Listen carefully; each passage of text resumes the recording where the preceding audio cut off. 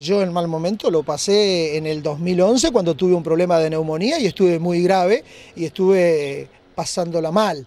Después también tuve un mal momento cuando tuve el incidente que todos ustedes recuerdan, donde tuve más de 90 días este, fuera de circuito y bastante complicado. Esos son los malos momentos que uno pasa porque es un tema de salud. Los otros son temas cotidianos, son temas del día a día, son gente que de pronto no tira parejo por un departamento, que no realmente se pone las botas a trabajar como tiene que trabajar por el departamento y a traer los recursos. Yo me hago una pregunta todo esto, digo, se habla muy mucho de tanta gente que ha fallecido en el tramo de Melo 33 en la ruta 8. ¿Qué han hecho estos señores y qué han hecho el gobierno nacional para trabajar y apoyar que realmente se haga una obra de calidad y se mejore la ruta para que no se muera la gente? Eso me preocupa muchísimo a mí. Ahora, mire que también eh, allí en la, esa reunión de la Junta Departamental en Río Branco, descentralizando como se debe descentralizar las cosas, también fueron importante y positivo. A mí me llamó mucho la, me llamó mucho la atención la intervención del Edil Sorondo, muy bien del propio Edil Ademar Silvera, donde planteaba un tema bastante importante y que no se trata de la parte de paternal de quién lo tiene, quién lo, este, lo fue a buscar. Y, lo importante es que todos querían solucionar, si bien voy a decir que tuvo una discrepancia con nuestro edil, pero me pareció acertada también el trabajo que hizo el señor Ademar Silvera. Y por otro lado también la doctora Gualquiro Olano hizo una exposición bien importante y después la escuché en algún medio de comunicación y creo que ella sí se dio cuenta del trabajo que realmente hicieron los ediles acá. Hay ediles que creo que eh, están porque están, algunos están por casualidad, este, porque otros lo, porque este, en base a otros llegaron. Y hay otros que creo que no les gusta nada el departamento o capaz que les gusta solamente la capital, se hinchan por solamente la capital departamental y el restante del departamento les importa muy poco.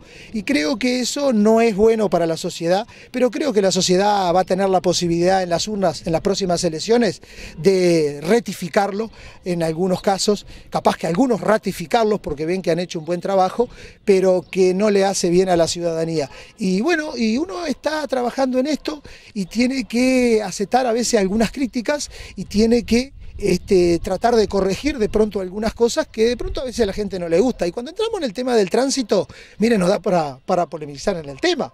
Esto es muy claro. Nosotros no nos vamos a regir porque a fulano o a mengano le gusta que actuemos de tal o cual forma. Hay una ley, hay una normativa a nivel del país y es lo que nosotros hacemos cumplir. Le guste a quien le guste, pero si está la ley, la hacemos cumplir. Le di el Sartorio que habían tenido un acercamiento con ustedes y él haciendo el, tratando de entregarle un proyecto de tránsito y que dice que al final ustedes se lo copiaron, pero de mala manera.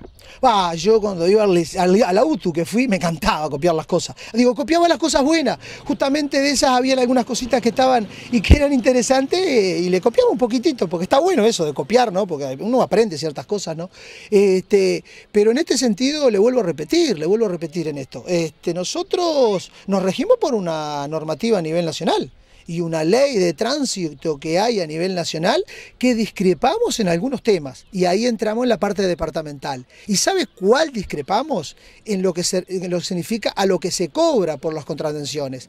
Hallamos que es exagerado, que si la ley es nacional, que se cobre a nivel nacional, si es una aplicación de una multa por el uso del casco que valga en Artigas, en Río Negro, en Montevideo y en Cerro Largo el mismo precio. Si usted anda sin el cinto o anda con exceso de velocidad, que sea parejo para todos. Para eso es una ley nacional.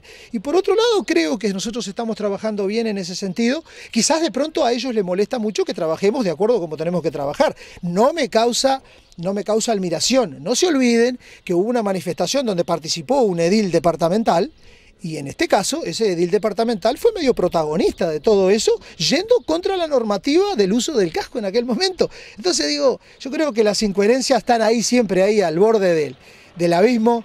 Digo, la gente a veces eh, capaz que va mucho más por la pasión y no por la razón de cómo tienen que realizarse las cosas y cómo se tienen que enfrentar las cosas. Se recibió a muchachos de la zona comercial allí por los temas en la sesión de concejales, en, su momento, se plantearon y la verdad que hoy por hoy está funcionando bien, está funcionando cada uno con sus estacionamientos y cada uno tiene su vehículo en el lugar que lo merece tener y los espacios se están respetando. Eso creo que es muy importante. Por otro lado, decirle que hace muy pocos días este, también los empresarios nos llamaron en horario de la mañana para ver si podíamos y para cuándo podíamos marcar una reunión. Nosotros le dijimos que rápidamente, en la tarde ya nos estábamos reuniendo, nos plantearon un par de temas. Uno de los temas que se plantearon fue eh, que los empresarios y la gente pensaba que éramos nosotros los que recaudábamos el dinero por las cajas del municipio. No, no, nosotros lo que hacemos simplemente son documentaciones y toda la parte burocrática.